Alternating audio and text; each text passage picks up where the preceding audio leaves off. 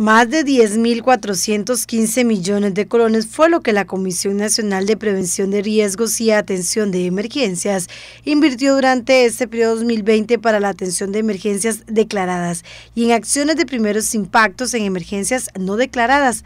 La Unidad de Gestión de Procesos de Reconstrucción de la institución tramitó 206 contrataciones, de las cuales cuatro fueron por extrema urgencia, 117 por primeros impactos y 85 por planes de inversión en decretos de emergencia.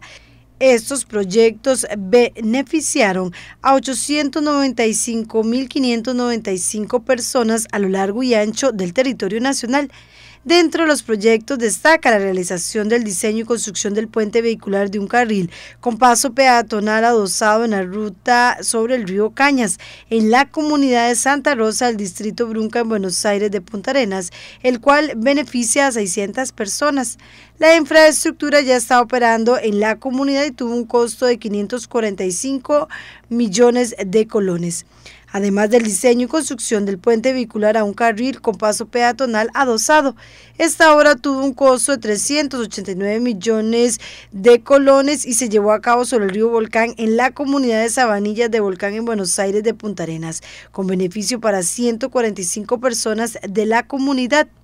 Bueno, realmente este 2020 ha sido un año bastante atípico. Hemos pasado la mayor parte del tiempo atendiendo la situación de pandemia, pero también hemos tenido, fundamentalmente por las medidas de bioseguridad que hay que implementar, hemos tenido que suspender en algunos casos proyectos, eh, también eh, algunos proyectos también se han venido atrasando y todo esto está relacionado con el programa de reconstrucción específicamente. En este sentido, hemos invertido más de 10.400 millones de colones en eh, todo el proceso de atención de emergencias declaradas. A esto, con esto me refiero a los planes de inversión que están vigentes de eh, los últimos años en relación con emergencias por sequía, por el huracán Otto, por la tormenta tropical Nate, entre, entre otras.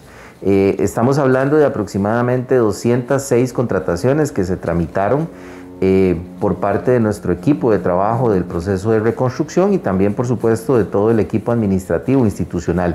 Entre estas, hay cuatro contrataciones que fueron de extrema urgencia. Estas son situaciones de riesgo inminente que hay que atender de forma muy rápida. 117 de ellas por primeros impactos, donde frente a un evento menor se genera una afectación importante a una población que hay que resolver también en cortísimo tiempo y 85 corresponde a lo que nosotros conocemos como planes de inversión por decretos de emergencia anteriores. Con el fin de brindar una atención urgente a las comunidades, la Comisión utiliza la figura del primer impacto para intervenciones inmediatas que permitan mitigar situaciones de riesgo eminente para la población. Esta acción se ejecuta en caso de emergencias no declaradas conforme a lo previsto en el artículo 30, inciso A de la Ley 8488. Las acciones desarrolladas permitieron restablecer la comunicación en comunidades o controlar situaciones de riesgo inminente que ponen en riesgo la vida humana, la salud y la seguridad de los habitantes y sus bienes, y por los mecanismos de contratación supera las capacidades de respuesta de las municipalidades.